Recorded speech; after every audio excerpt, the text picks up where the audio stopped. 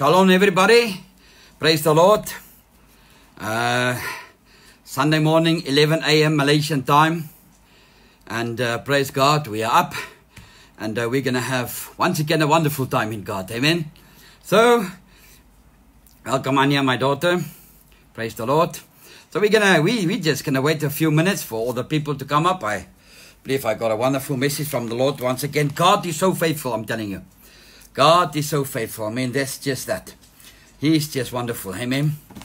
So yeah. So let's see. Uh, God bless you.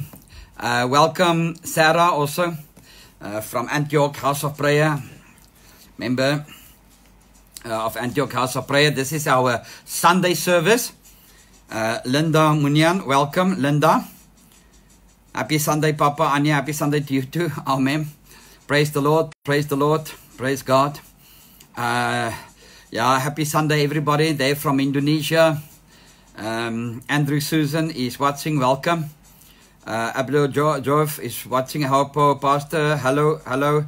Uh, David Ravi is watching. Welcome, welcome, welcome. Already we have a lo- whole lot of people up up already. Um, this is our uh, Zahid Nadim. Welcome. This is our Sunday service. Um, uh, my church name is Antioch House of Prayer. Uh, we are situated in Cyberjaya um, in uh, Malaysia, about uh, 20, uh, 40 minutes drive from the capital Kuala Lumpur. It's a wonderful city. Um, uh, it sometimes reminds me a lot about Singapore. uh, it's very clean and good. Yeah, amen. Praise God. So the Lord has given the city to us. I believe, and we're going to give the city to Him. Amen. He placed us here, and we're going to give it to Him. So I'm just waiting for my church members to come up. And uh, yeah, praise God, praise God. Um, we're going to have a great time in God. This is my fifth time, I think, five or six times already that I'm alive and all. Andrew Susan, praise God. God bless you. God bless you too. God bless you too. Amen. Praise God. We're just waiting. I usually wait about one or two minutes and then we will be starting with our service. Uh, praise God. Well, God is good. We've had some tremendous feedback with the videos uh, that we have been uh, doing, the, the last six videos, uh, or five videos, I cannot count. My son Patrick and lovely, oh, welcome, amen, to this service. You are part of us, actually. Welcome. Praise God, Patrick. Praise God, lovely. Uh, Dolphin J. Derek Frank, welcome. Welcome. Uh, praise the Lord. Amen. So we just wait for some of the members to come up now. Amen. And uh, so we can start this this live broadcast. Um, amen. Uh, PV Paul is watching. Welcome. Welcome. Amen. Praise God. So let's see. Let's see what we are going to do. God is a good God. Amen. So just waiting for some people. I will give another minute or so. Uh, we have been, like I said, we have been doing now five. I, I cannot remember, five or six. Can somebody help me right there? Five or six live videos already. And um, we've had tremendous feedback. Tremendous feedback. Uh, and uh, and I'm so happy that people took this, and I I'm so happy to see also that there's so uh, tremendous response to these uh, to these videos. Amen. And uh, praise God for that. And uh, um, people are taking up arms. People are doing their part. The born again Christians are doing their part. Welcome, Don Potter, member of Antioch House of Prayers, our Sunday service. Welcome. Uh, like I said, we've had tremendous uh, feedback already. Uh, people has been sending messages to me and all that, and we have been praying together, um, interview with me and all that, and um, it's just been snowballing, amen. And people's been responding. People has been responding, and they've taken the new pulpit that God has given them. And uh, welcome, Pastor Ray Yap, and uh, and welcome, Sandra Nair. So this is uh, this is just you know it's just wonderful to know that these people are. Um, you know, responding and taking up this new pulpit that the Lord has given to us. Amen. And preaching the word, preaching the word from your from your lounge and, and from your bedroom and, and so forth. We can do that. The God has has actually brought the world to our doorstep. We're all on lockdown. Manda, Tampubolon, welcome. Welcome there. Praise God. Mm. A bit of tea. Um, yeah. So, in the meantime, if you have your Bibles with you, please turn with me to the book of Acts, chapter number 27. Welcome, Jan Globlar. Uh, book, turn to the book of Acts, chapter number 27. Turn to the book of Acts, chapter number 27. And um, we will be reading there from verse number 13 onwards, 14, actually, verse number 14. And I'll be reading from the NLT version, the NLT version. Amen, the NLT version. So uh, um, let's go. Let's go to the book of Acts, chapter number twenty-seven. Acts twenty-seven, from verse fourteen. But first of all, let's pray. Father, we just thank you, God, that we can come together in this um, uh, today, Lord God. Thank you for the opportunity, my Father, that you've given to us, Lord God. Thank you for your mercy and your grace. This is a service for my for the members of Antioch House of Prayer, but everybody is welcome to watch. And I I ask God that you come now and anoint me, Lord. Give me strength, anoint me, so I can bring this message over in a correct manner. That what is in your heart can also be in the heart of all that is listening to this. In Jesus' wonderful name. Amen. Good. Hallelujah. Okay. Um, so let's read from Acts chapter number 27. Let's read from Acts chapter number 27. Acts, Acts 27 from verse 14, I mean. Let me just get this a bit closer. Let me just get this a bit closer. Uh, it says there, Acts 27 from verse, four, from verse 14, but uh, weather, but the weather changed abruptly, and the wind of typhoon strengthened burst across the island and blew blew us out of the sea. The sailors couldn't turn the ship into the wind, so they gave up and let it run uh, before the before the gale. The next day, as gale forced winds continued to batter the ship, the crew began to throwing the cargo overboard. The following day, they even took some of the ship's gear and throw it overboard. Uh, the terrible storm rages for many days, blotting out the sun and the stars until at uh, until at last last all hope was gone. No one had eaten for a long time. Finally, Paul called the crew together and said, Men, you should have listened to me in the first place and not left Crete. You would have avoided all this damage and loss. But take courage. None of you will lose your life, even though the ship will go down. For, uh, for last night, an angel of God to whom I belong and whom I serve stood beside me, and he said, Don't be afraid, Paul, for you will surely stand trial before Caesar. What's more, God in his goodness has granted safety to everyone sailing with you.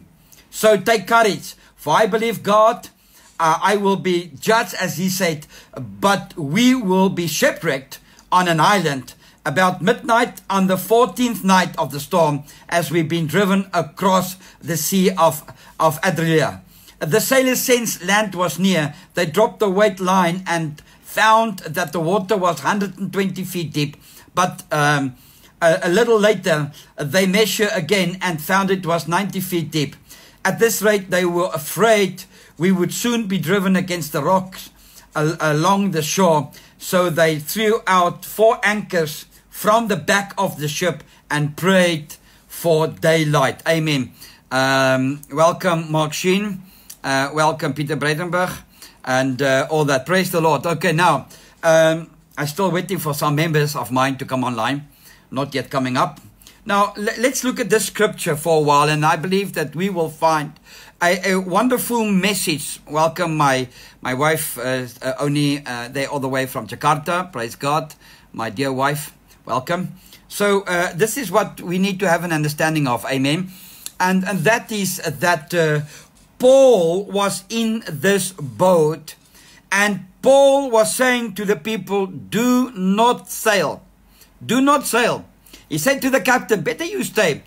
But they didn't listen, and they went sailing. And as they were sailing, we know that the story is saying that a huge typhoon, a storm came up. And when the storm came up, it, it rocked and, and you know and it rocked the boat to the left and to the right and uh, they must have had a lot of fear in their heart. So what they do is they start to throw overboard anything that is a lot of weight so that this uh, boat can be a little bit uh, lighter. So they throw things overboard. I mean welcome yuri my son there from um, uh, from Makassar uh, and all is actually all over the world. Welcome yuri. Welcome your family too Amen. So this this is what uh, what my message is. So we see Paul getting onto the boat, but he, before the time he said to the captain, "Don't sail." The captain didn't want to listen, so they sail. But even Paul knew that there's a storm coming. He was still on the boat. He didn't say, "No, you guys go." You, I gave you a warning. If you don't want to listen, go, go, go. I am staying here. No, no. Paul got on the boat. And as he got on that boat, they sail with uh, this boat. Amen. So, well, God gave a warning. People didn't listen. So, what happened? The sea became very stormy and the waves were big, and there was a fire typhoon on the sea. And uh, that means, I mean, uh, uh you know, that, that means just, that means just disaster, in fact. So, disaster was coming.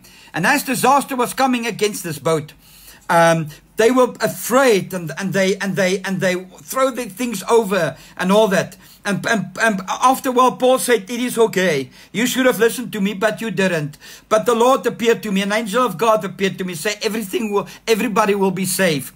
And uh, the angel appeared to me, saying to me that um, you will still appear in the trial uh, in Rome. And uh, well, uh, that means that God is going to take care of him. Amen.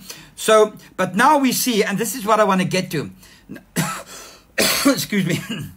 now we see that in verse number 29, at this rate they were afraid we would soon be driven against the rocks along the shore. So they threw out four anchors from the back of the ship and prayed for daylight. So they throw out four anchors. My message today to you is God has shown me four anchors that we can maintain and have and know in the time of crisis in the time that we are going through right now. The world has come to a standstill because of this coronavirus. And uh, we have been addressing this virus violently.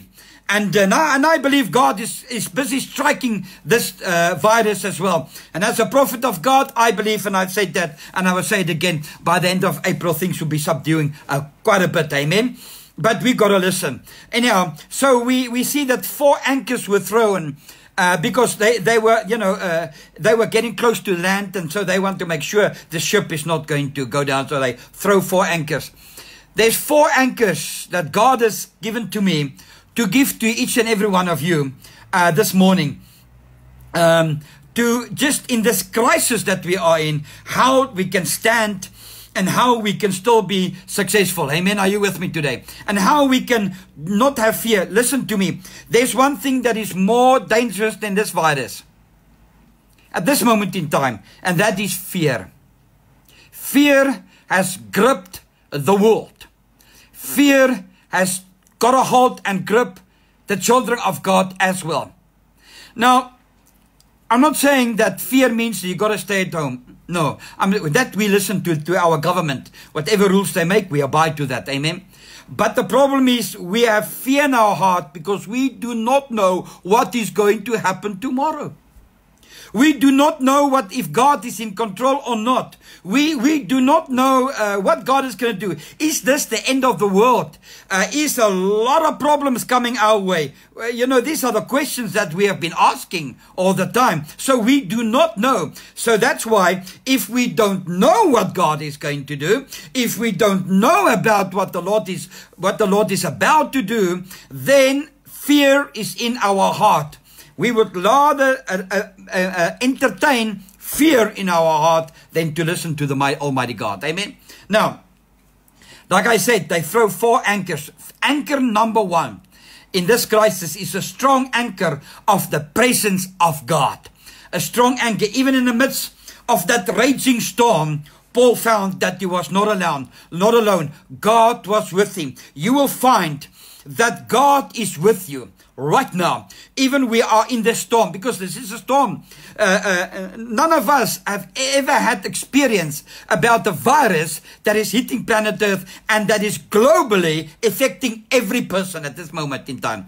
Either you're affected by this thing or you're affected by fear or you're affected by the unknown, what is going to happen. And I'm telling you today, right now, in the mighty name of the Lord Jesus the Christ, that God's presence is with you. Amen. Paul knew it. He knew regardless of the storm that tossed the boat and, and, and your life around at this moment in time. We got to have confidence that God is with us. His presence is with us. God says that He will never leave nor forsake you. Amen. This is the first anchor that you and I should know. God presence is with us. Amen. So that means my God is with me. What shall I be afraid of? Amen. I obey to the rules of the government. I definitely obey to the rules and regulations and the spiritual rules of God Himself according to the Word of God. I do that. So why should I fear? Why? No. People that fear do not know about God. They don't know that they need to hold unto God. Many people out there, listen to me. You know what is the wonderful thing about this broadcast? that I've been having. This is my fifth or sixth one. Sorry, I can't even remember how many times I've been up already. Every second day, God has ordered me to be up and on a Sunday for my church at this moment in time. But let me say it this way. So many responses come even from people that don't believe and asking me certain questions. Amen and all that. So I'm telling you right now today that God is welcome uh, uh, my, my daughter from Bali, and my son Quinton and uh, little Faye, my, my granddaughter. Welcome. So let me continue. So they see, we see that, that Paul was, was uh, on this boat. He gave a warning.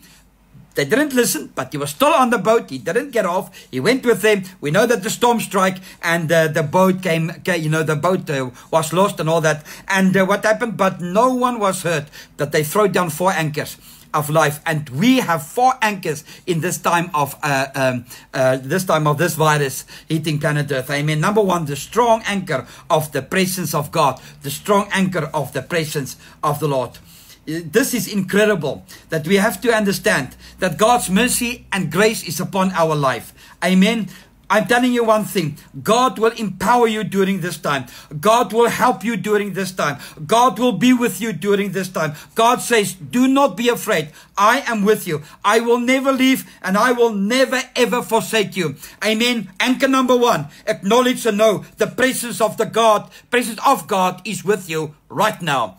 The Lord Jesus the Christ that lives in you is stronger than the devil that is in the world that's causing this, this virus. Now, this anchor number one. Anchor, anchor, uh, uh, uh anchor number two uh, is a strong anchor of the promises of God. The promises of God. As Paul weathered that long uh, and the terrible storm, the Lord came to him with a precious promise. Now look at this. He reminded Paul that he would stand before Caesar and that and uh, in trial all those uh, on the ship will be spared as well. well, I'm, you know, this is, I'm sorry, this is a bit uh, funny to me. I, I respect this, but God said to Paul, Paul, don't worry. You are not going to die now because you're going to stand trial before Caesar. It, you know, I mean, well, this, it's not really something to look forward to, isn't it? But what God is saying to, you, to him, you're going to get through this. You're going to get through this. Amen. God is saying to you and I today, you are going to get through this. There's promises of God upon your life that needs to come to fulfillment. Amen. So you and I are going to get go. We're going to go through this. We are going to go through this. Say amen there. Hallelujah. I'm telling you right now, God is not going to leave us. I mean, we are going to go through this. Now, Paul is, is just having a word from God was enough for, for him to be sure and be blessed to know that he is going through. Amen. Why? Because Paul had relationship with God and knew that God was good God and God is a God that keeps his word and his promises. Amen. So this is number two. God will never leave nor forsake you. Are you with me today? Amen. Come on, say amen. Now, uh, uh, let's get to number three. Anchor number three. The strong anchor of the providence of God. The strong anchor of the providence of God. Amen. So Paul is told by the Lord that the storm is part of God working out his plan in Paul's life. Uh, at that moment in time, that storm was the safest place in the world for Paul to be. Why? Because he was in the will of God and God was working a mighty way in a situation to bring about the will of God in Paul's life. Listen to me. I know you're not, uh, you're gonna say a lot of things now, but I'm telling you, you are now in this virus, in the situation about this coronavirus around the world. You are in the safest place that you can be. In that storm, Paul was in the safest place because he was in the will of God. Amen. Are you in God's will? Are you in God's will? That means you are in the safest place of your life right now. Even you are confined to your house, you're confined to your room. You don't know, today I'm going to spend in the lounge, tomorrow I'll spend in the kitchen, maybe the next day I'll spend in the toilet. You know, we have these options in our house. but never mind, you are safe. Come on, say amen. You are safe. Amen. Isn't God just a good God? Did you know? that God is doing the very same thing in your life as He's doing in the, in the life of Paul, even right now? Did you know that? Hmm? That God is doing the same thing? Come on, say amen. God is doing the same thing. God is busy preparing you. Listen to me. Listen to me. You are in a very safe place right now because you are in the will of God. Don't fix your eyes on this coronavirus uh, COVID 19. Don't fix your eyes on that. This thing is going to pass, I'm telling you right now. Uh, but fix your eyes upon God, upon the promises of God, upon that you know that God will take you through this situation. Doesn't matter what. You and your family. Amen. And uh, if we stand on this, um, we stand on this, on the promise, I'm telling you one thing today, you're going to go through. We are looking at the four anchors that was thrown uh, uh, of the boat. We have looked at number three now. God is a good God. Amen. Now, let's look at number four quickly. Let's look at number four. There's some other stuff that I also want to uh, uh, uh, bring. Number four, the, the strong anchor of the performance of God. A strong anchor of the performance of God. Hallelujah. Amen. What the, what the Lord told Paul and, and what Paul believed what happened came to pass everyone made it safely to the shore. Amen. Paul said to them, listen here, even though you didn't listen to me, and he still went say, but God says uh, that no one is going to die, and God says you'll be safe. And everybody on that boat was safe because Paul was there. Listen to me. God's presence is upon you. God has a promise in your life. And the people that is close to you, the Lord will bring them safe with you. These people were not believers, most of them. I mean, they were sailors and stuff. And but, but Paul says, you all be safe. All of you will be safe. I'm saying to you as a prophet of God, do these things, you will all be safe. You will all be safe. Come on, say amen. Come on, let me let me hear. Write down. Amen. Write down glory to God. Amen. God will keep his word. What is the promise that God has given to you? God will keep his word. God will never leave nor forsake you. He spared every life and, and proved himself to be as good as his word is. That's God. God is able to work it all out for you. Amen. He will get you through the storm and you will land safely. God will get you through this uh, situation about the virus right now. God will get you through. Say amen. God is going to get you through it. Amen. You and your family. This is the good news that I want to bring to you right now. This is the good news. Amen. It may look this morning perhaps like your boat is going to sink. It may look that the storm is going to be too much and, and you don't know if you're going to prevail. However, when the waves have all settled down, when the winds have ceased their blowing, when the storm clouds have moved off the horizon, you will see that God was in control all along.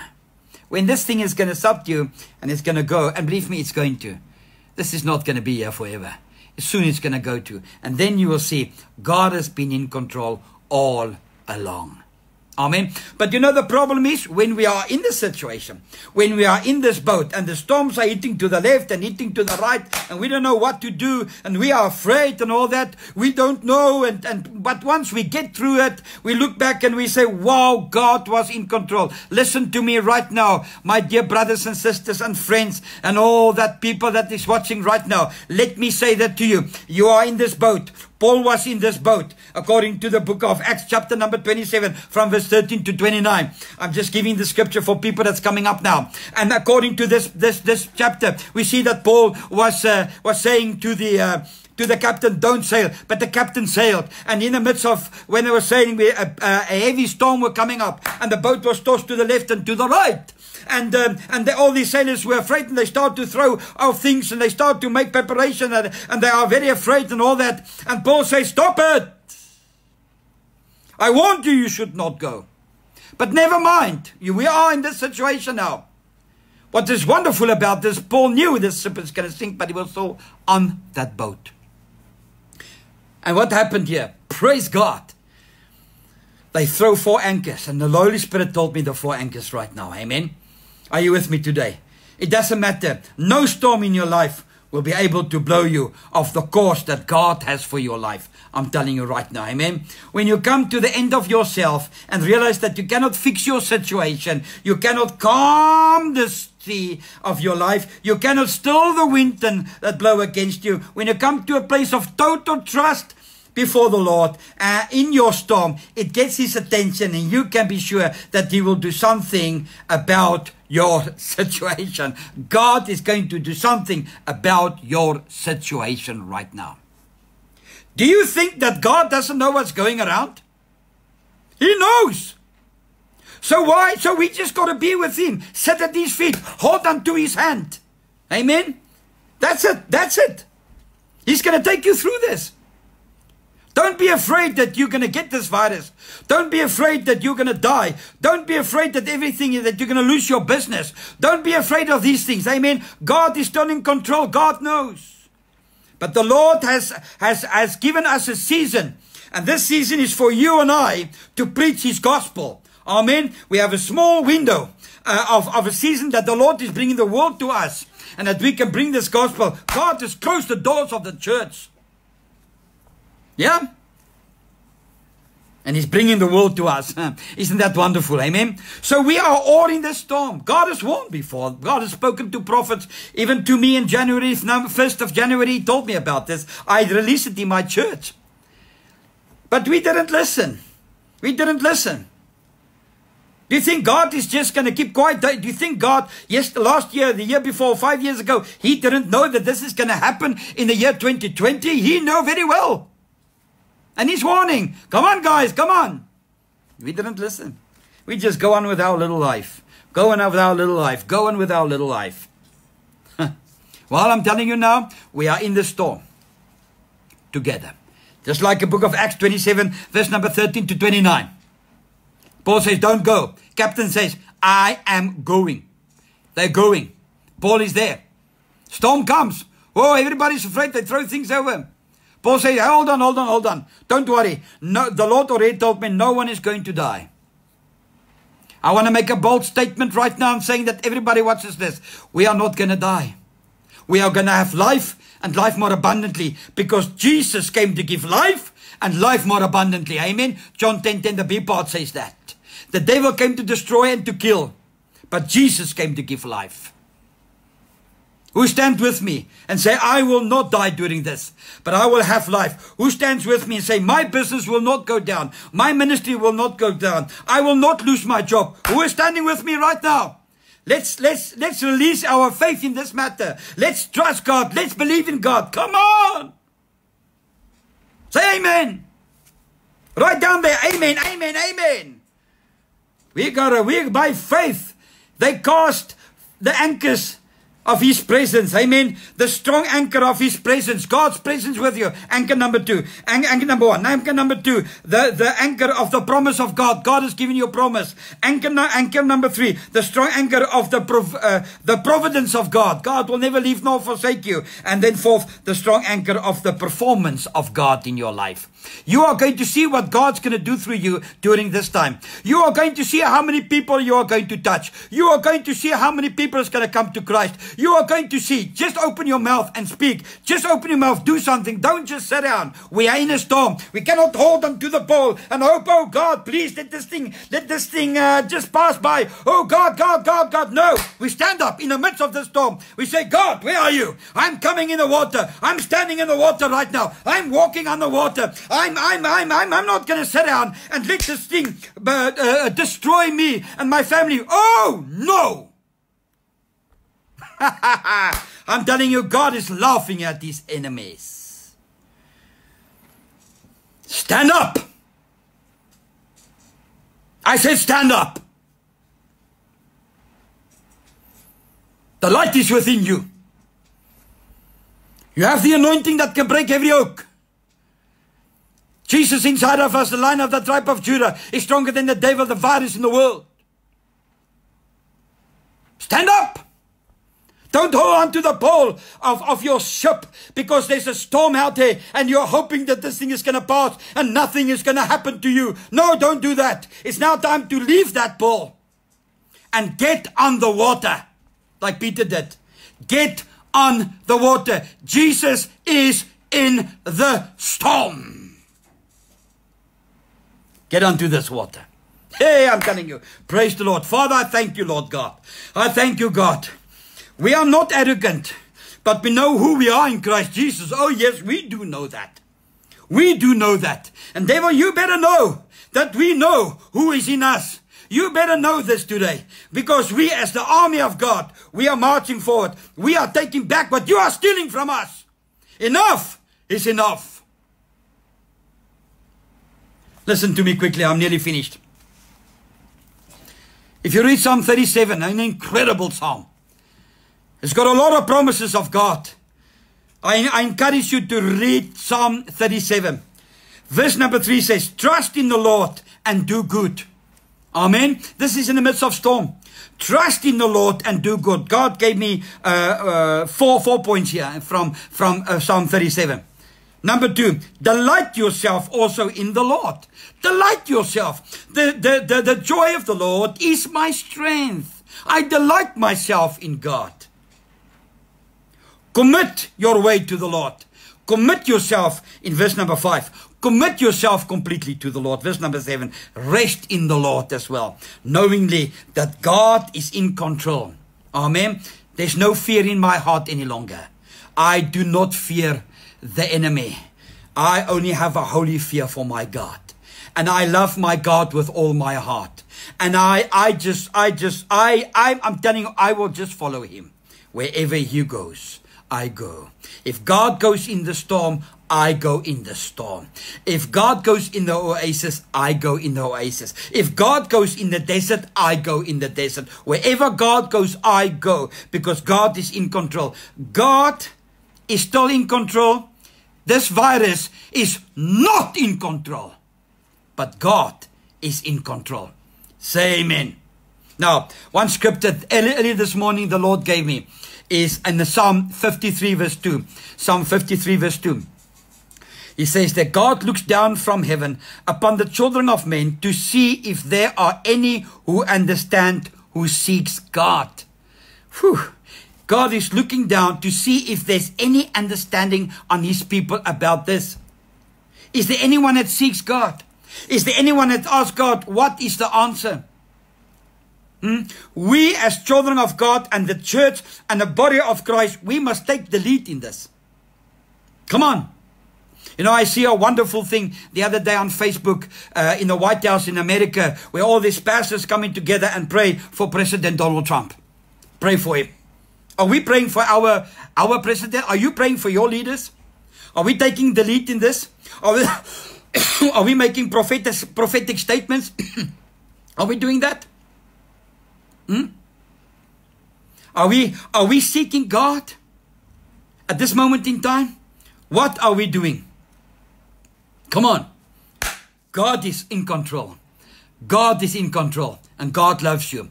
You are uh, you are children of the most high God. Your name is written in the book of the Lamb by the blood of Jesus Christ. You belong to God. God is a jealous God. We have a blood covenant with God. We have a blood covenant with God through the precious blood of Jesus Christ. What belongs to me belongs to God. What belongs to God belongs to me. That's the covenant that we have. It's an everlasting covenant. That covenant can never be broken because it's been it's been made possible by the blood of Jesus Christ. Are you with me today? Amen. So that means that God will take care of me and that I will seek him. And then when God looks down, he sees somebody that has an understanding.